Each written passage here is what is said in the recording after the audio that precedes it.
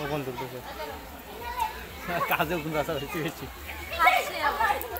다시요 맞아 다시요 다시요.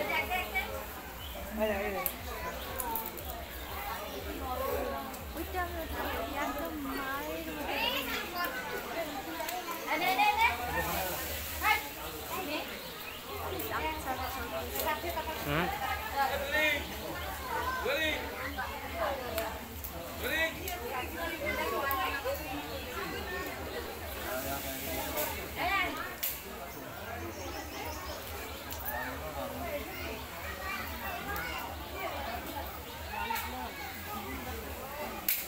passado.